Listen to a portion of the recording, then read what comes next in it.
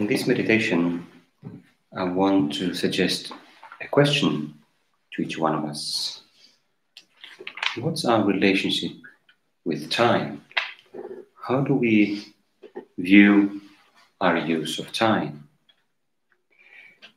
Or more precisely, putting that question in a one to one dialogue with our Lord, Jesus, not just how do I use time, that's not maybe the first question. That's maybe a very practical, concrete question to consider. But how do I view time? Especially Jesus in relation to you. Is time for me something that I kind of take for granted? Something that ultimately I think that belongs to me? Is my relationship with time something in which God comes in as an outsider, so to speak, someone who is a bit of a burden, someone who comes in and kind of complicates complicates my life we might humorously say, imagine ourselves saying, if we are very sincere with God, Jesus, I already have so many things to do. Why do you have to trouble me with other things?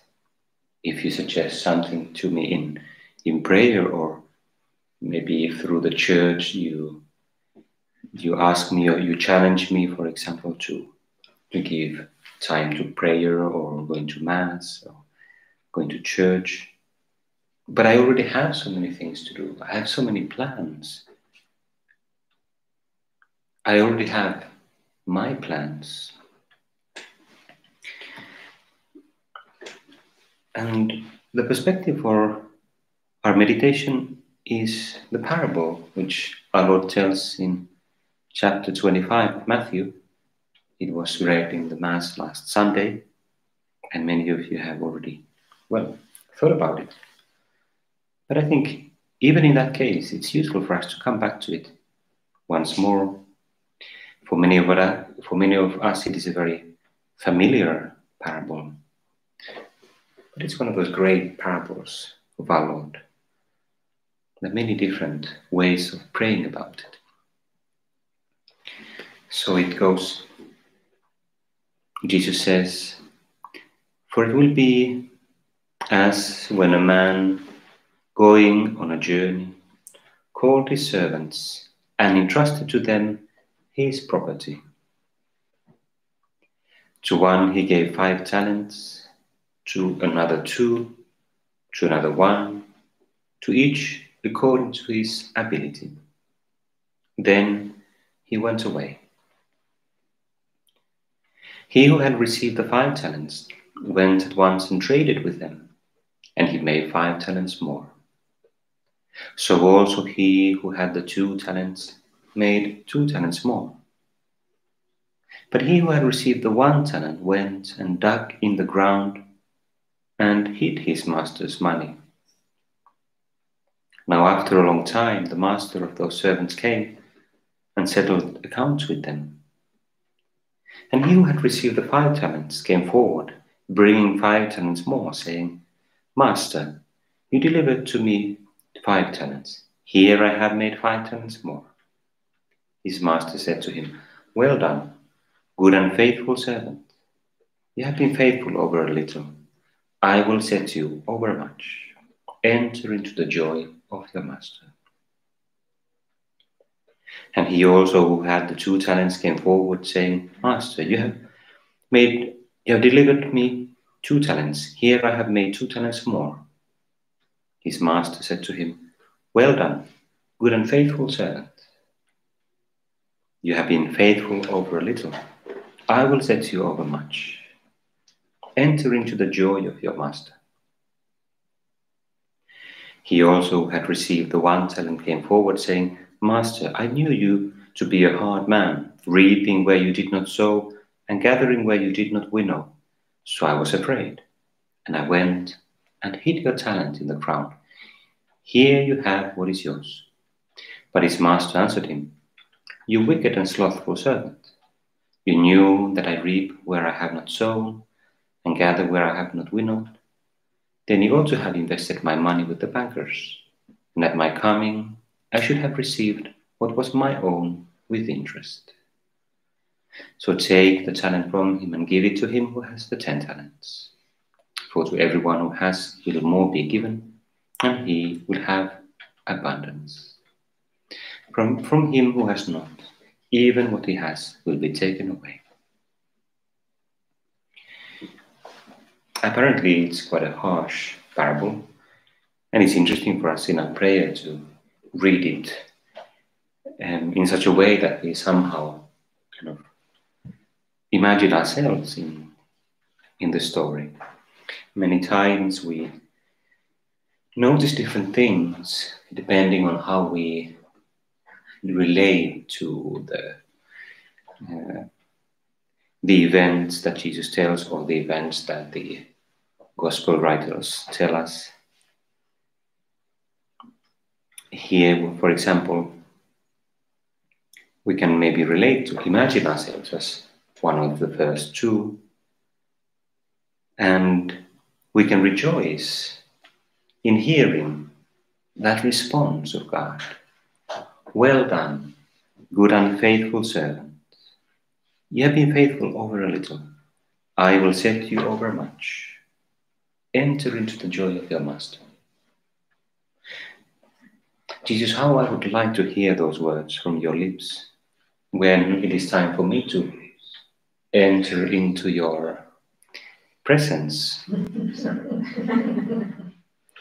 how I look forward to those words. Jesus, I want to hear those words from you. And desiring to hear those words, of course, encourages me to live in such a way that corresponds to the to the first and the second servant. It is like it spurs me on, it encourages me to live like them. On the other hand, maybe I imagine myself myself as the last one, the one who received the rebuke you wicked and slothful servant.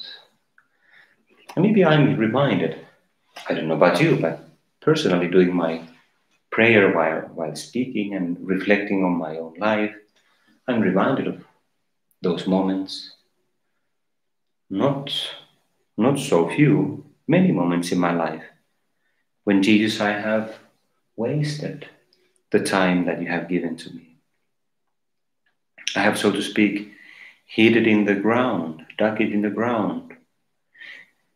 Maybe for all kinds of reasons, maybe it was not for fear, or maybe it was kind of a hidden fear of taking risk, and then maybe as a result of that fear, even kind of looking for compensation, some comfort in a kind of escapistic um, escapistic use of waste of time, just, I don't know, all kinds of things that I have done, Lord, wasting time in my life, playing computer games, and I'm saying it's necessarily a bad thing to play computer games, but I know I have wasted much time playing computer games a long time ago.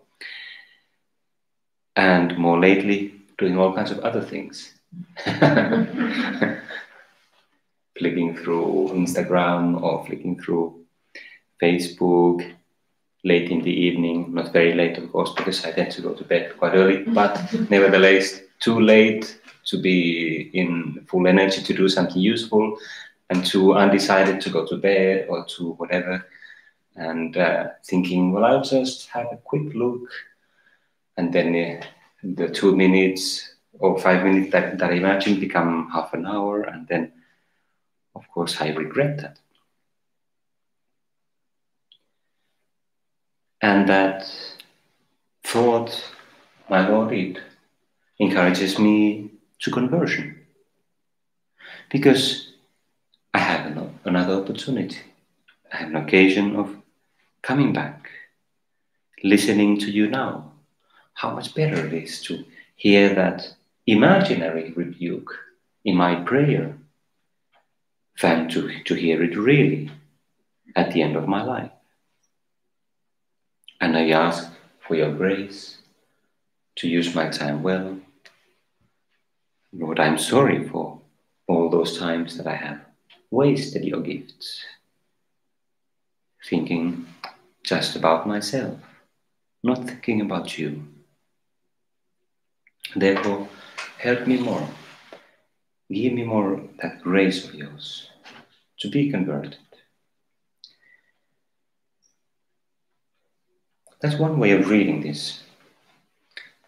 There are many more different ways of reading it, but I think that's the main thing that I wanted to put for our prayer. But let's come back to the beginning just for a moment. In the beginning of this meditation, I suggested that the question is not only how I use time, but what's my relationship with time? Even that deeper question how do I view it? And time, not the only thing, but also my so called natural talents and also my supernatural talents. All those different opportunities, gifts, possibilities that have been handed to me. And therefore, let's hear again the beginning, Jesus described the scene. Jesus, how you described it to us.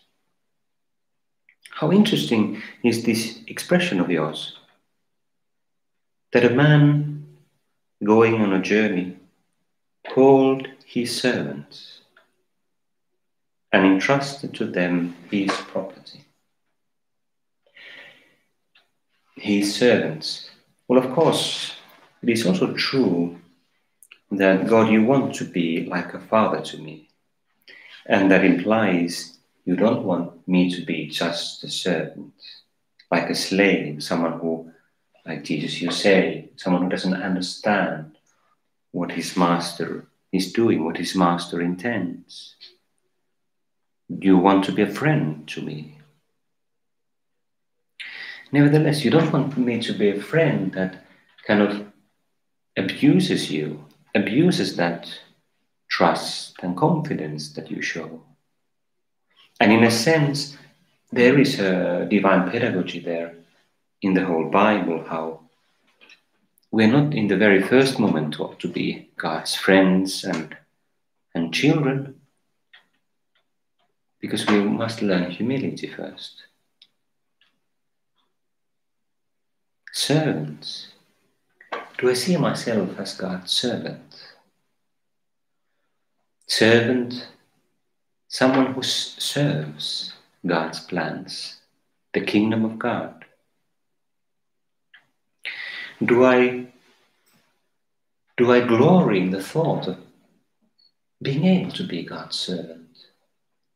Or do I find it somehow humiliating, almost thinking that, oh, I'm worthy of other things, my own plans, my independence, my autonomy, whatever. But then, autonomy with what?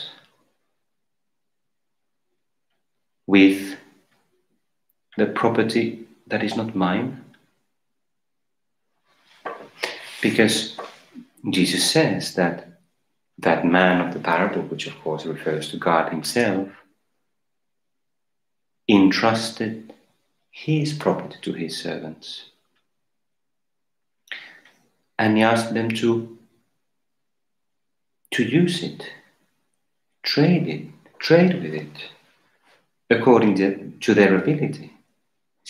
And when that moment of truth came, when he came back, even the one who had hid the talent gave it back.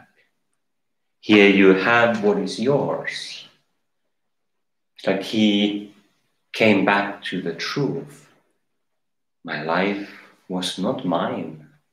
my gifts were not my own. Oh, there's that sober realization at the moment of, of death or end of this life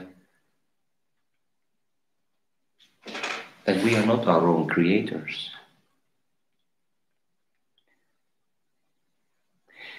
But in contrast, why should we find it humiliating?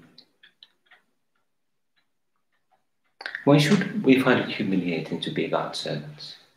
What a beautiful thing it is, isn't it?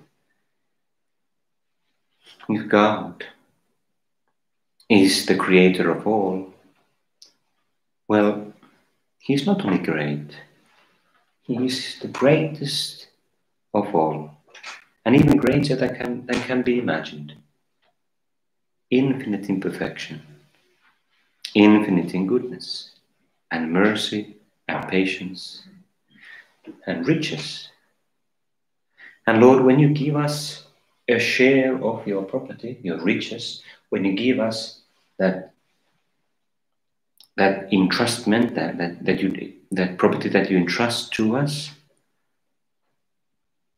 you don't become poor as a result because you give from your plenty, from your infinite riches.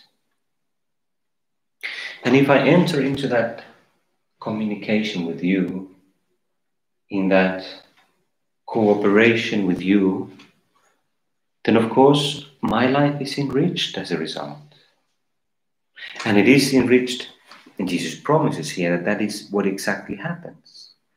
Those who receive God's gifts with gratitude and an active attitude of service will be given more. When they give, they give back what was entrusted to them, that master says, Well done, good and faithful servant. You have been faithful over a little. I will set you over much. Lord, how easy it is for us to be fooled by appearances. You know that money given to them, talent, there's a comment here in this Bible, for example, that this talent was more than 15 years' wages of a laborer. There are different estimates of how much a talent was worth, but it was a lot of money, a very significant amount of money. And so, even one talent would be uh, like a, a real treasure. Five talents is like it's like it's millions in, in our terms. It's like saying the God is really generous with what He's giving. He's giving us like everything, so many possibilities, gifts.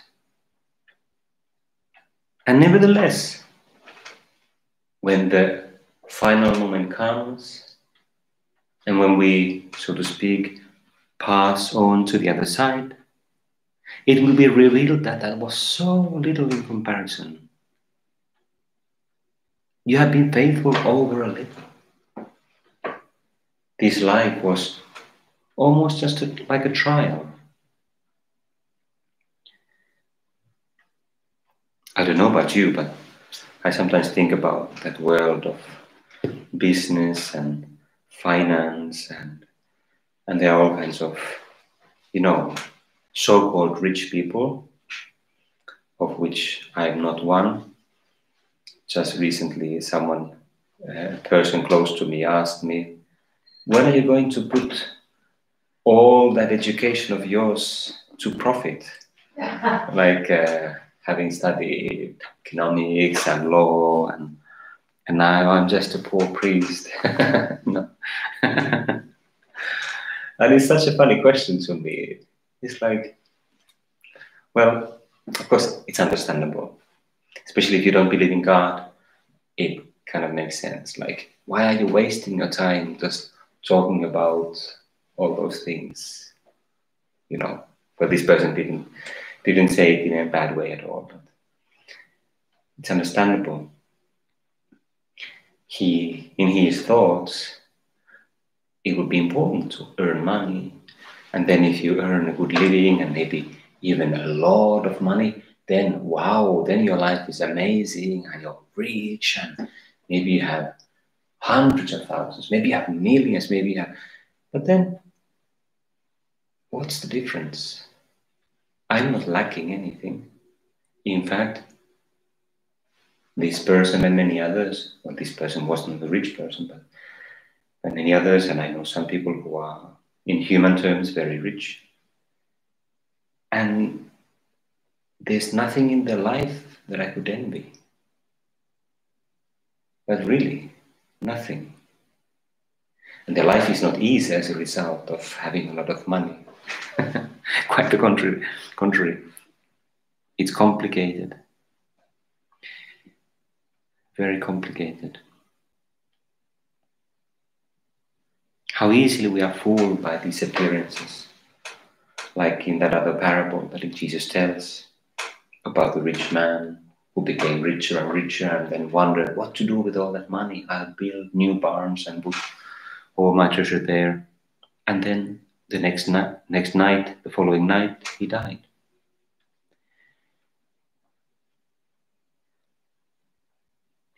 Jesus, you're not asking us to become rich in human terms. You're asking us to be, become rich in divine terms, in your riches, in your property, which is so much more valuable, so different. All these things of matter in this world are just dust and ashes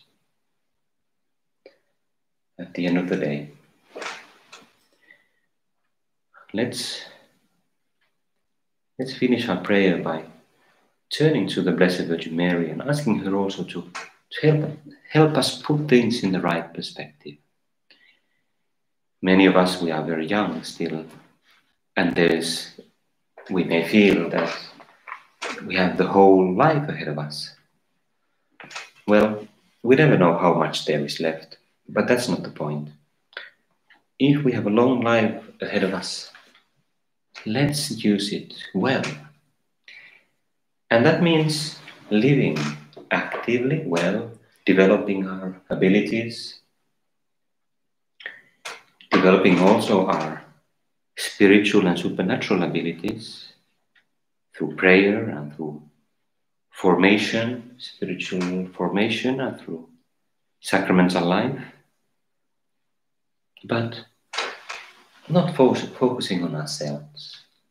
Like my, mine, mine. What can I get now? No. What can I give?